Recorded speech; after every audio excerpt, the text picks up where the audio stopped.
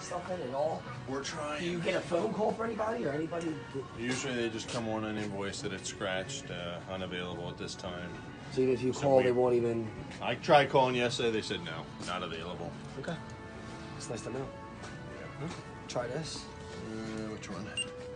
This one. Try this one. Yeah. Scan it. Two seventy nine. Yep. Scan it. Oh, so you got on that.